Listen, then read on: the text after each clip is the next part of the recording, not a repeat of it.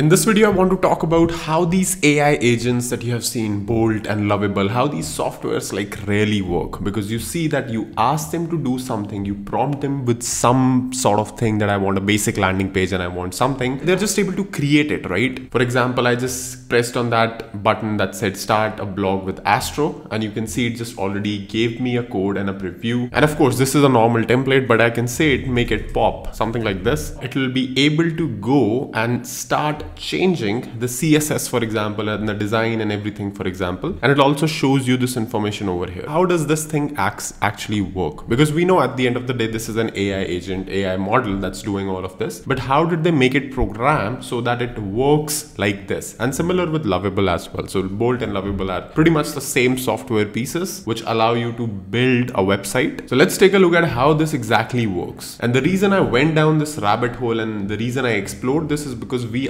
ourselves are working on a very small AI agent internally for Fermion. So if you don't know about Fermion, it's a platform for coding education businesses and people who want to build their own online platforms for teaching people. And one of the things in that is the ability to create coding labs. And creating coding labs has always been the hardest challenge. Because if you look at a platform like Codedamn, where we already created a lot of these labs, creating these labs and the challenges over here is the tricky part. How do you set it up as an instructor? That has a slight learning curve. So what we are doing is trying to eliminate that completely with the small AI agent. Now this is again like very much work in progress. It's not available. I'll probably create a separate video once this is available. But this model, for example, this AI agent is running on O3 mini and this is able to create any and every sort of lab you want. So again, I'll share the preview of the agent which we are creating later down the line. For now, let's try to understand how this specific thing works. So what you have to understand while understanding how these models work is that there is fundamentally an AI model at the core. Now this model,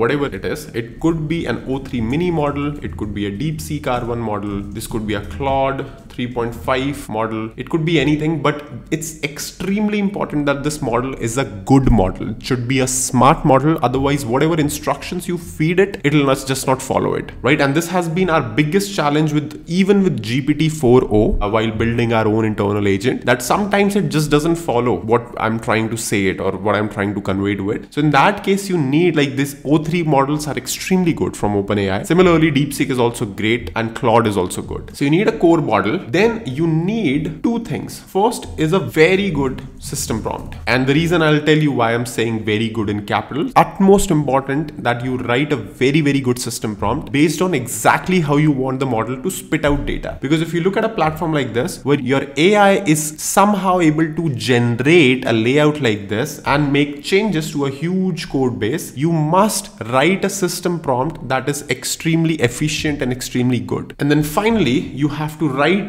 a parser, a message parser over here. Now, initially, what I started to think was that we need tool calling over here, OpenAI tool calling, and you know, the typical thing that exists with some of these models that a tool calling can just update whatever is required. But the problem with tool calling is that you cannot stream the data, right? A tool calling just appears as a JSON thing, and then you are only able to use it once the whole response is done. For example, let's say if I say, can you make it even better? For example, so when I say something like this, it will start to stream the message first of all, and then it will start to stream the changes also. So you see these changes are getting streamed. This is not possible if you're doing a tool calling for updating a file, for example. So this is very important that you don't use tool calling. You use tool calling very, very carefully. Wherever it is required, use that because one of the drawbacks of tool calling is that not all models also support it. So DeepSeek R1, for example, does not support tool calling. That means if you want to use DeepSeek R1 for anything, you have to structure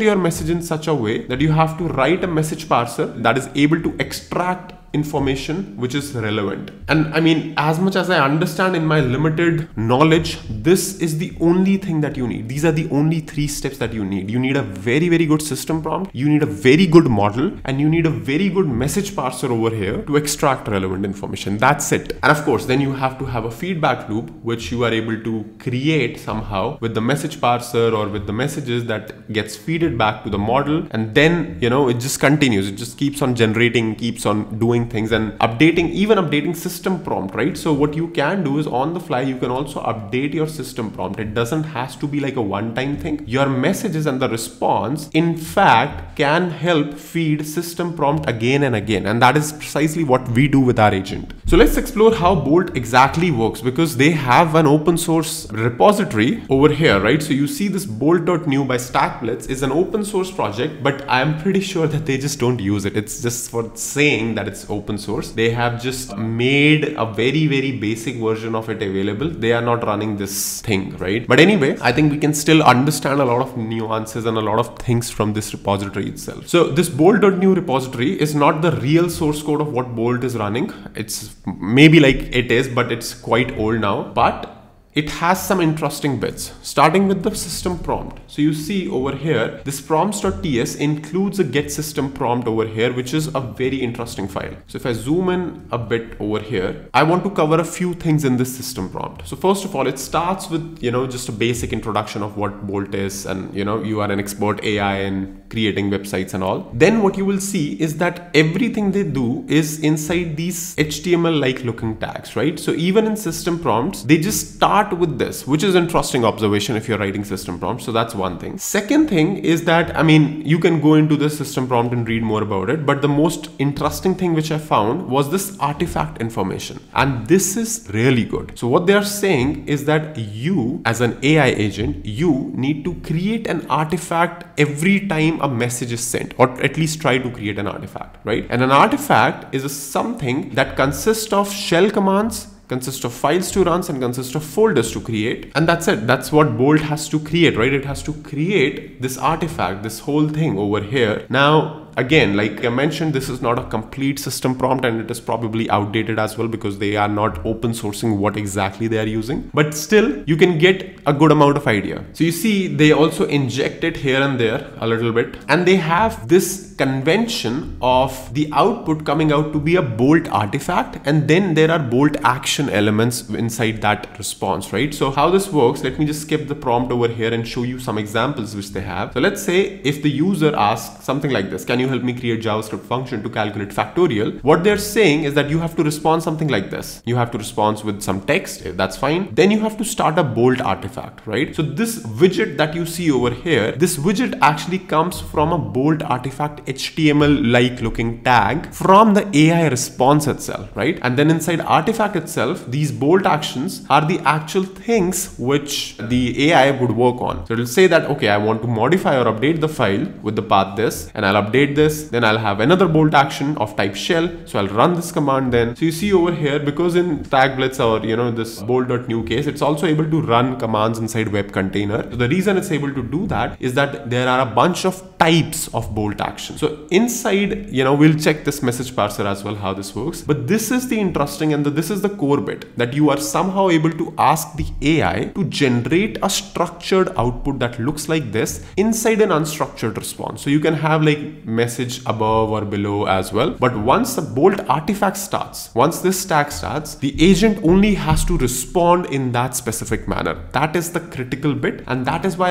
I was also saying that you need a very good model over here. Because if you use a bad model over here, it will just not give you this output, which is the critical bit. It can spit out any random thing that is okay. But this is the critical bit to the application. And that is why I think Bolt also uses Claude 3.5 or whatever model they use under the hood. But this is the core reason why you need a really good model and why you can't also use tool calling, right? Because if you're building this action, if hypothetically you use tool calling, every single one of these actions would become a tool call. And instead of like streaming the result, which I showed you earlier also, you would only be able to see the result as a whole thing in one go right? So that's very important. Another example, if you take a look at, so you write a query as a user, and this is where the bolt response starts. It'll say certainly all of that, and then it'll start an artifact, and then it'll do as many iterations as it needs, right? So it can run shell commands, it can create files, it can update files, and so on and so forth over here, and it can also then respond. And again, these examples are just reinforced what the rules are inside the system prompt. So you see over here, if you go back up and you see, it starts by saying wrap the content in opening and closing bolt artifact tags and specific bolt actions For each bolt action, add a type to the type attribute. For example, for shell, for file, and so on, right? So once you have an output like this generated by AI, how do you use it? How do you convert it into something like this and like this? And in that case, they have an extremely good thing again within this whole open source repository. That is the parser, the message parser.ts. So again, this repository, let me be honest over here, it's not complete, right? So this repository would not give you exactly like how Bolt is working right now. I don't know because they haven't like open sourced the actual thing they're using. This is just a template, but this is good because if you're starting to create an AI agent or an AI system, this can take you very far. So now they have a prompt.ts, which is a system prompt for the AI you are using. And then you have a message parser.ts that is supposed to extract out this bolt artifact on the fly, right? As AI is streaming this down the line, this message parser.ts is able to extract it out. So you can see, I mean, I would not go into depths of how the message parser itself works. And by the way, this also is incomplete in my opinion. It doesn't properly stream, but um, that's a different story. But how this message parser basically works is that it looks for these opening tags and closing tags and tries to extract everything in between and tries to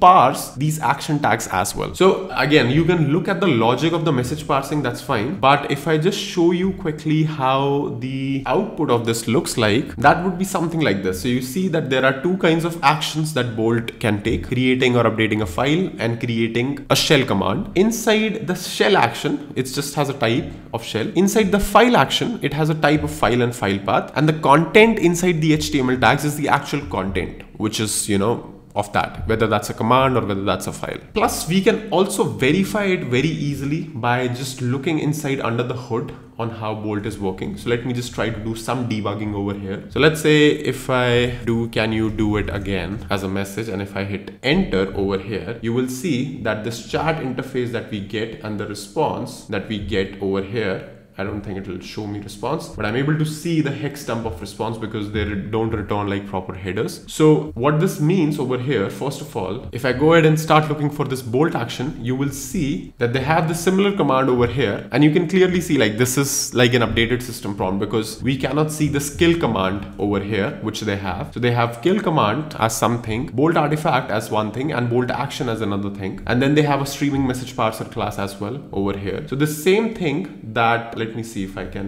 let the chat complete then I'll show you how the output looks like. So the same thing that I just showed you inside GitHub repository is also available inside their source code. Now I was trying to see how they sort of work. So I was able to see some sort of tool calling as well with Supabase. So they are using tool calling with Supabase and they have like a specific action and specific bolt artifact as well. So you can see like I think there is no mention of Supabase here as well. So this is like an old repository, but you still would be able to learn a lot from this one. So anyway, as you can see now the response is complete. So what I can do is right click and copy response, right? So over here, if I clear this console, close this as well. And if I paste this, you will see that the response it gives me the Chrome DevTools is in base 64. So we can easily convert it back to a real response. And if I copy this over here and paste it again, now you would be able to see the actual response that we got from the AI directly, right? So over here, this is the response. This is the full response that we got from this AI. A message ID, they are also using Vercel AI SDK and you can see if I map it one to one, I'll enhance this design further with more modern features and improvements. Let's update the styling and add some new animations. And then you see the bolt artifact starts, right? So once it starts, the bolt message parser is configured in such a way that it is able to understand this is the starting tag. And then I can just go ahead and start, you know, this widget instead of like actually just streaming the text. So it starts the artifact, then it creates first action that, okay, I need to create a file, file path package.json, and then it'll start writing the file itself, right? Then somewhere down the line, again, like I can format this even better, but I'm just gonna skip that uh, work for now. Then it has a file again for src styles.cs and so on and so forth. If you go down a bit, once the file creation is done, for example, then you will see I think somewhere around here, it'll also start to run commands, right? Then you have bolt action type start. And again, these are not documented things. Over here, you can see that there is no type start over here. Only the shell commands are there. So they are clearly doing something more. And then they have a command, a specific run command as well, right? And then once it's done, it just resumes. I've made several improvements to the enhance the design further and so on and so forth. So this is like regular output. But this system right here, this then they hook up with their web container stuff, which they already have, and they're able to use these labels. For example, they are able to understand whether the file was created or updated because they also have a history of the files which they have, right? So this is overall an interesting system, a relatively simple system. I would say it's not a hugely complex thing. It's mostly about three things, model, a very good system prompt, which they already have these two things, and a very good message parser as well that is able to extract relevant information and pass it down not only back to the model, but also to their web container agent system, web container API, right? That's the only thing that you need to create a system like bolt.new. And again, like you don't have to create it like this. You can create it of any use case. For example, just like I mentioned in the initial part of the video that we are creating an AI agent for creating coding labs that look like this, where you have these multiple challenges, multiple file folders, and the AI agent will set up a lab for you. So it's not a web building sort of thing. So you are not going to build applications by the agent. You will create a practice problem by the agent and then you will be able to solve it. And we'll bring it to Codedamn, bring it to Fermion as well. And I will create a video once that is live. But that is how we are doing it. And that is how most companies are doing it today with smart prompt engineering, great models, and building a feedback loop with proper software engineering, which you anyway need to do, right? So these AI agents are great, but you need to very, very carefully program them and you will get awesome results. So that's all for this video. If you liked it, make sure you leave a like and subscribe to the channel. Do let me know in the comments if you have created an AI agent before or if you're thinking to start one, maybe I can help you out. That's all for this one and I'll see you in the next video very soon.